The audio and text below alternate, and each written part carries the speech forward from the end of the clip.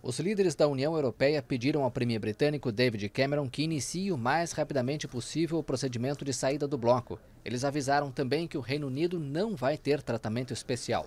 Os líderes participaram de uma cúpula em Bruxelas, a primeira desde o referendo em que os britânicos decidiram deixar o grupo de 28 países.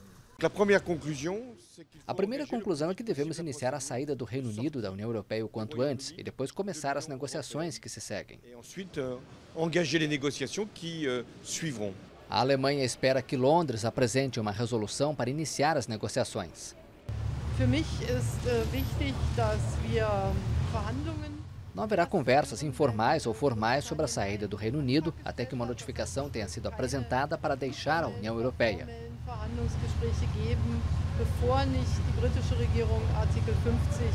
A Europa afirma estar pronta para a separação e à procura de um novo impulso para o bloco.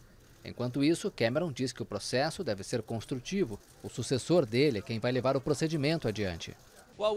À medida que sairmos da União Europeia, não devemos dar as costas para a Europa. São países vizinhos, amigos, aliados, parceiros. A Grã-Bretanha navega por águas turbulentas após o resultado do referendo.